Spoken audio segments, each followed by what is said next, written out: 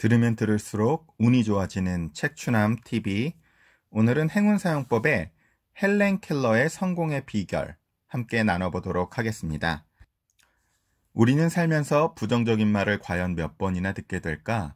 일본 아마존 종합 베스트셀러 1위 당신의 소중한 꿈을 이루는 보물지도의 저자 모치즈키 도시타카는 다음과 같이 이야기한다. 사람들은 태어나서 성인이 될 때까지 20년 동안 보통의 가정에서 14만 번 이상의 부정적, 소극적, 파괴적인 메시지를 샤워기의 물처럼 받고 삽니다. 즉 하루 평균 20회 정도 듣는 이런 메시지들은 어느새 그 사람의 말하는 습관, 버릇, 사고, 습관이 돼 버립니다.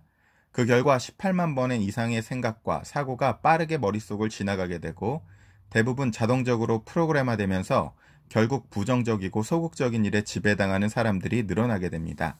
제가 이게 무의식에 있어서 여러분의 그 애국 게임이 프로그래밍 된다는 얘기랑 같은 말씀이죠. 행동 심리학자들의 추정에 따르면 우리 머릿속에는 어릴 적 어른들로부터 주입받은 말들이 끊임없이 반복 재생되는 테이프처럼 돌아가고 있는데 이를 검사하는데도 자그마치 2만 5천 시간이 걸린다고 한다. 또한 한 연구에 의하면 초등학생이 성공적으로 과제를 수행하도록 북돋아주기 위해서는 비난하거나 비판하는 말보다 칭찬하는 말을 4배 더 많이 해줘야 하며 좋은 습관을 지니도록 하려면 8배의 칭찬이 필요하다고 한다. 하지만 불행히도 현대인은 하루 한 번의 칭찬에 20에서 30번의 비판을 받으며 살아가고 있다. 저희가 끊임없이 애고게임으로 코딩이 되는 거죠. 결국 어린 시절부터 끊임없이 들어온 하루 2, 30번에 달하는 부정적인 말들이 우리의 생각과 사고의 습관을 형성하게 되고 이로 말미암아 우리는 평생 부정적인 사고에 사로잡혀 살게 되는 것이다. 우리 속담에도 3살 버릇 여든까지 간다는 말이 있지 않은가. 이렇게 계속 부정적인 말들에 지속적으로 노출되면 우리 몸은 부정적인 영향을 받게 된다. 이를 의학적으로 증명한 연구 결과가 있다. 캘리포니아 대학 건강심리학 교수 마거릿 케메니는 영국 배우가 부정적인 말과 생각을 반복적으로 하는 악당의 역할을 마치고 난 후 혈액을 분석해 보았는데 실제 악역을 연기했던 배우의 혈액에서 나쁜 스트레스 호르몬이 증가한다는 사실을 발견했다. 이와 같이 강력한 말의 힘을 지금 당장 확인해 보고 싶다면 먼저 자신의 몸 상태를 살핀 후 얼굴을 찡그리면서 10번 이상 짜증나 라고 말하고 마음과 신체의 반응을 살펴보라. 단 10번만으로도 실제적인 변화를 느낄 수 있을 것이다. 자, 한번 몇 번 해보세요. 한번 직접. 자, 짜증나. 짜증나. 짜증나. 짜증나. 짜증나. 짜증나. 짜증나. 짜증나. 짜증나. 짜증나. 어떠세요, 여러분? 반응이 단지 말을 했을 뿐인데. 자, 이번에는 칭찬의 힘에 대해 알아보도록 하자. 헬렌 켈러는 열병으로 인해 생후 10개월 만 19개월 만에 장님에 귀머거리, 벙어리가 되었지만 하버드 대학 레드클리프 칼리지를 우등으로 졸업했다. 그녀의 놀라운 정신력과 이를 바탕으로 한 탁월한 성취는 장애인들에게 희망을 주었으며 작가이자 사회사업가로 그 이름을 역사에 길이 남겼다. 과연 헬렌 켈러의 놀라운 성공 비결은 무엇이었을까? 그것은 다름 아닌 바로 칭찬의 힘이었다. 헬렌 켈러라는 이름과 떼어놓을 수 없는 위대한 교사 설리번은 10살부터 남동생과 함께 고아원에서 자랐다. 그녀는 학대와 고통 속에 성장했을 뿐만 아니라 남동생을 먼저 떠나보내는 비극을 겪었다. 엎친 데 덮친 격으로 눈병에 걸려 실명 직전까지 가기도 했다. 하지만 썰리번은 낙망하지 않았고 이를 오히려 더 큰 사랑으로 승화시켜 평생 헬렌 켈러를 위해 헌신적으로 봉사하며 살았다. 이러한 썰리번 선생님의 사랑을 듬뿍 받고 성장한 헬렌 켈러는 스스로 자신에 대해 칭찬하는 말을 무려 3천 가지나 찾아낼 수 있었다고 한다. 비록 입으로 하는 말은 못 알아들었겠지만 설리번 선생님이 온몸으로 전해주었던 칭찬의 말이 헬렌 켈러를 이토록 긍정적이고 뛰어난 사람으로 성장하게 한 것이다. 칭찬에 관한 연구 중 가트맨 비율이라는 것이 있다. 오랜 기간 부부들을 연구하여 행복한 부부 사이의 가장 바람직한 상호관계 비율을 찾아낸 워싱턴 대학의 존 가트맨 박사의 이름을 딴 용어이다. 이 비율에 따르면 행복한 결혼 생활을 유지하는 부부는 부정적인 말에 비해 긍정적인 말을 최소 5배 이상 많이 한다고 한다. 이 비율은 다른 유형의 관계들과 비교해 보면 조금씩 차이가 있는데 그것은 아래와 같다. 관계 부모와 어린 자녀는 3대 1 정도, 긍정이 3, 부정이 1 정도의 비율이 어, 필요하고 상사와 부하 직원은 4대 1. 배우자와 배우자에는 긍정적인 말이 5배 정도 높아야 되고 5대 1. 친구와 친구 사이에는 8배. 그리고 리틀리그 코치와 아이들 사이에는 10배. 점원과 고객 사이에는 20배.